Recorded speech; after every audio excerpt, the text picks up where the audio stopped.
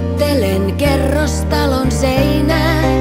Tähän aikaan vuodesta me maalla tehtiin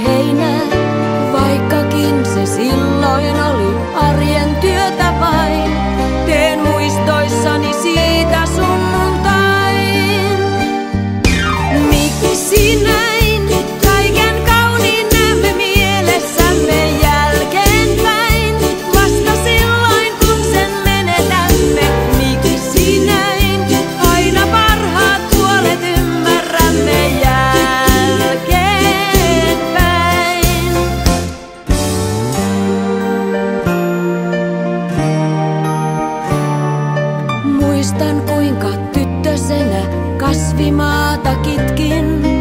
Kuinka työtä inhosinkaan, joskus melkein itkin. Nyt kun voisin